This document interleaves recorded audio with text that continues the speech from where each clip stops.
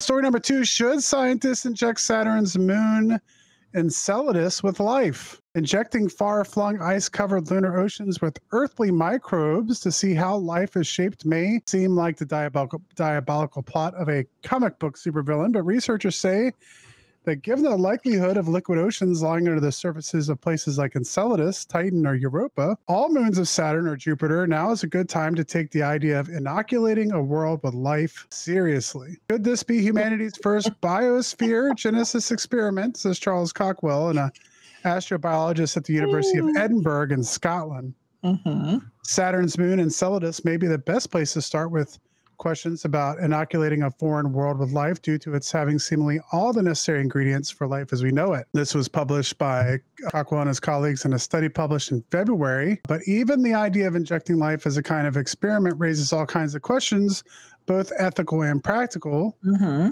how can we be sure there isn't life already there? Mm-hmm. and and that we wouldn't be disturbing the development of an alien ecosystem. Yep. Uh, most of what we know about the small Saturn, uh, saturnian moons come from nasa's cassini spacecraft the craft studied the ring planet 2004 to 2017 flying around its many moons in the process. Story goes on. I thought that was interesting because when i was reading the story i was i was saying like well isn't that one of the places we think there could be life? So like no why are we gonna go? there wasn't life there but it brings, up a, it brings up an interesting question because there was also a story about how uh, scientists are saying there there might be a, a need very very soon to try to terraform Mars. And so it's kind of this idea of uh, putting life on planets and trying to fix or create ecosystems. Like we can't keep our own straight. Why are we going to go start one somewhere? Else? I think I, I think of it well to play devil's advocate, I kind of see it a little bit like um,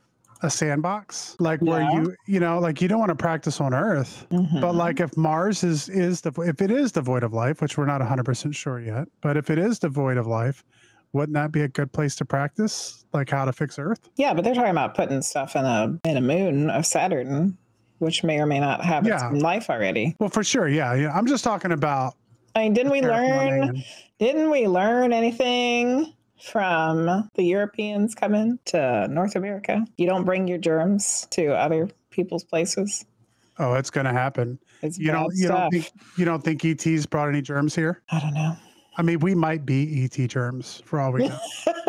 That's right? all we are. It's just ET germs. Right.